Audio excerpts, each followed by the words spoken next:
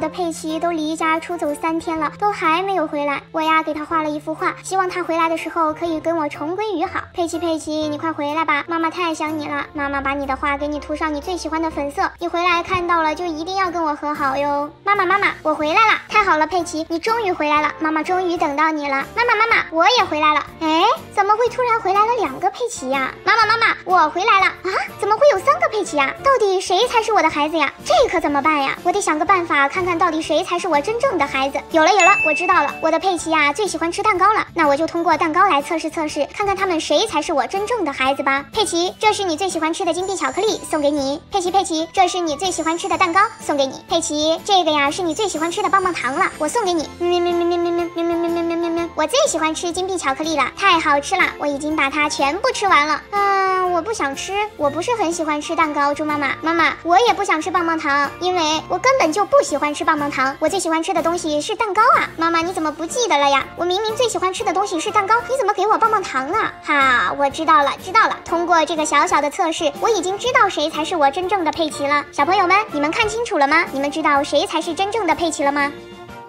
佩奇、乔治，今天呀，你们两个就在家里面比赛吧。嗯，比赛的内容呢，就是画大树，看谁的大树画的最好。谁画的最好呢？妈妈呀，就会奖励他一辆自行车。到时候你们就可以出去郊游喽。啊，画大树就会有自行车吗？那猪妈妈，我会努力的，我也会努力，一定画出最好的大树给你看的。那好吧，你们先画，我一会儿再过来检查。嘿嘿，有自行车，那我可得认真画了。我呀，要先画出这棵树的树干，然后再给它画上大大的绿叶，再在树下画一些小草吧。嘿呀，屏幕前的小。小朋友们，你看我的画就画好了，我画的是不是很好看呀？哎呀，佩奇姐姐都画完了，那我也得赶紧开始画了。我的大树啊，一定会比佩奇姐姐的还好看的。我呀，也要先画上树的树干，还要给它画上它的树叶，然后呢，还要给它涂上绿色的颜色，再给它画一些小草在下面。好了好了，我也画完了。小朋友们，你们觉得我的大树画的好看吗？是不是觉得我的大树画的更好看呀？孩子们，孩子们，猪妈妈来了，让我看看到底是谁的大树画的比较好吧。嗯，不错。错不错，你们已经画的非常好看了。嗯，佩奇画的也是不错。可是呀，我只有一辆自行车，这可怎么分呢？这样吧，不如把投票权交给小朋友们吧。小朋友们，你们觉得是佩奇画的好，还是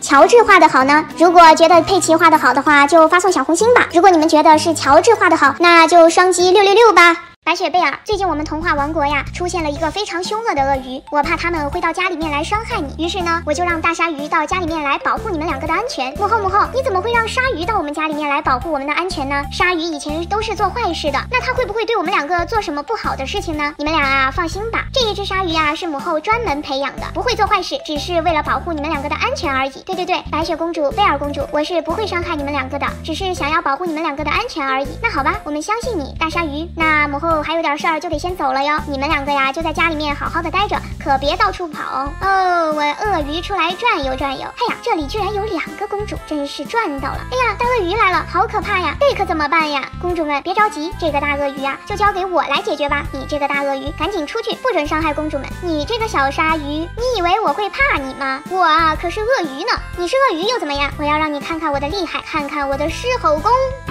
哎呀，我的脑袋好晕啊！这个小鲨鱼的狮吼功怎么这么厉害呢？它居然还会这种特殊的技能，我还是赶紧走吧。想走可没那么容易，看我的魔法魔法，把你定在这里。那这样的话，我们的童话森林就安全了，你也不会再出去欺负他们了。哇，没想到这个大鲨鱼这么厉害呀！小朋友们，你们觉得它厉害吗？如果觉得它厉害的话，就发送小红心给他吧。哈哈哈，昨天刚买了一个神奇的粘土，今天才发现它的神奇之处就是把什么东西放进去，它就会变大。艾莎姐姐，艾莎姐姐。快救救我的爸爸！我的爸爸被妖精抓走了，我现在还这么小，救不了爸爸。小乔治，你不要担心，我这里有一个神奇的粘土，它可以把你变大，这样你就可以去救你的爸爸了。先用这个粘土把你盖上，乌拉乌拉变。我们来看看小乔治有没有变大呀？哇，小乔治真的变大了，太好了！我要去救我的爸爸了。艾莎姐姐，艾莎姐姐，听说你的沙子能让我变大，你能帮帮我吗？我的爸爸被怪兽抓起来了，我要变大去救我的爸爸，当然没问题了。来，小奥特曼，我来帮你变大，我再给小奥特曼一个小红。红心，然后再加上魔法，乌拉乌拉变。我们也来看看小奥特曼有没有变大呀？哇，小奥特曼变成了大奥特曼，太好了！谢谢艾莎姐姐，我可以去救我的爸爸了。艾莎公主，听说你这个神奇的粘土可以让人变大变强，你能帮我变大变强吗？当然没问题了。来，怪兽，你也快进来吧。现在我用这个粘土把怪兽盖起来。小朋友们，告诉你们一个小秘密哦，你们只要发送小红心，再点击关注，这个怪兽就会变小的。你们愿意把怪兽变小吗？评论告诉我吧。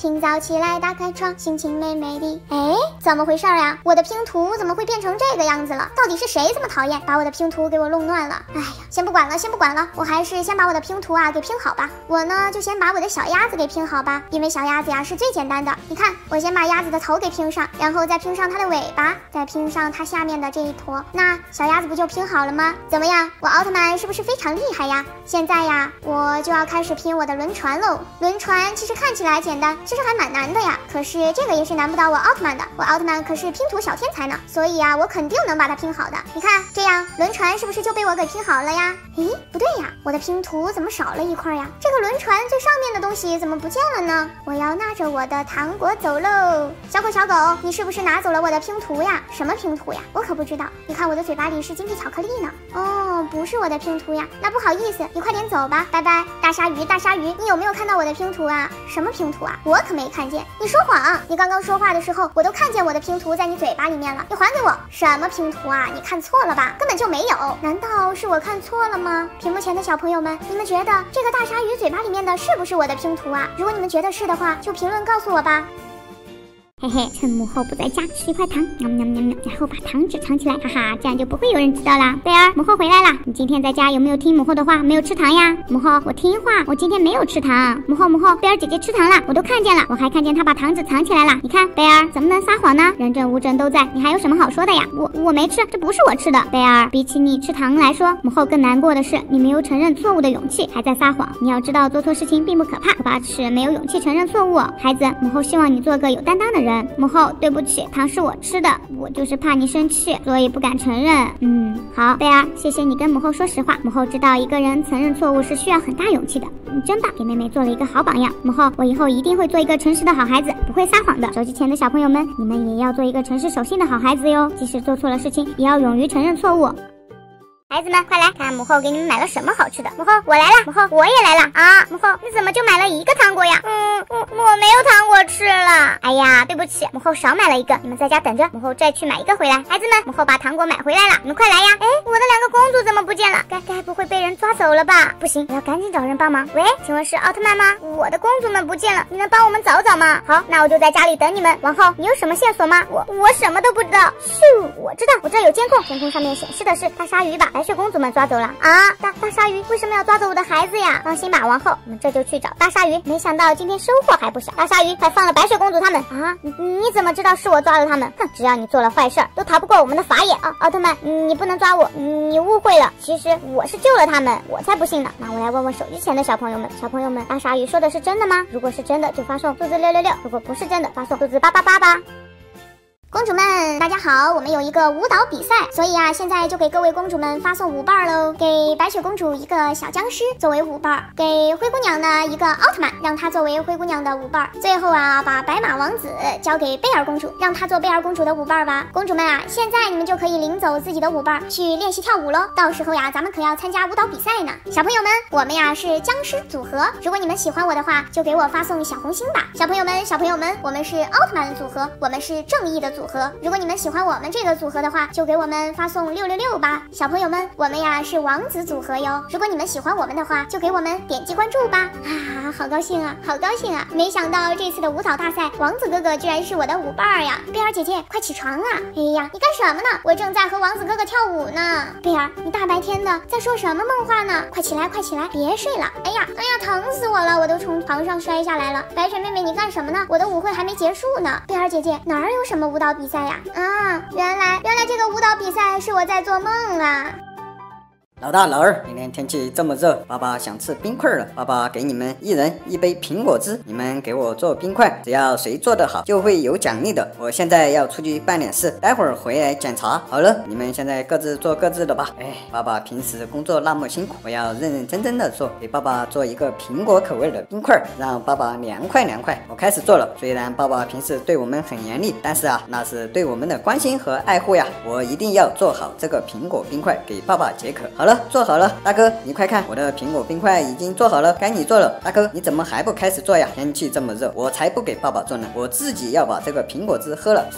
啊，真好喝呀！大哥，我把这个苹果果汁喝完了，这该怎么办呀？爸爸待会儿回来了，肯定会骂我的。让我想想，嗯，哎，有了，我在这个杯子里面倒上清水，然后再摇一摇。爸爸他肯定不知道，我再把这清水倒进模具里面，每一个都要倒满。好了，我的清水冰块也做好了，哈哈，老二，看我是是不是很聪明呀？大哥，你这样做是不对的。你看这个做出来的冰块没有味道，又不好看。哎，老二，没关系，没关系的，反正爸爸又不知道，你也不会告诉爸爸是吧？没事的，我回来了，老大老二，你们的冰块做的怎么样了？我来检查检查。哎，你们做的怎么不一样呀？这到底是怎么回事呀？小朋友们，你们知道这是怎么回事吗？如果知道的话，就评论告诉我吧。太好了，终于到地方了。乔治，这次郊游，你带了什么好吃的呀？我带的可丰富了，你看，有棒棒糖，有水果，还有饼干，还有饮料呢。小怪兽，你带的是什么呀？我我不告诉你，你不告诉我就算了。奥特曼哥哥，你带了什么好吃的呀？乔治带了这么多好吃的，我好想吃饼干呀，可是我的妈妈没给我买。反正乔治带了那么多东西，我把饼干拿走，他应该不会发现吧？小怪兽，你在干嘛呢？这句话应该是我问你吧？你站在乔治后面干嘛呢？是不是想拿乔治的东西啊？我没有，明明是你，我明明看到你偷偷走到乔治后面的，才不是呢，就是你。好好了好了，你们别吵。了，你们都是我的好朋友，我相信小怪兽，也相信小僵尸。嗯，那怎么办呀？要不我们就让手机前的小朋友来评评理吧。嗯，这倒是个好办法。小朋友们，你们说到底谁想拿我的东西啊？如果是小怪兽，就发送小红心；如果是小僵尸，就发送数字六六六吧。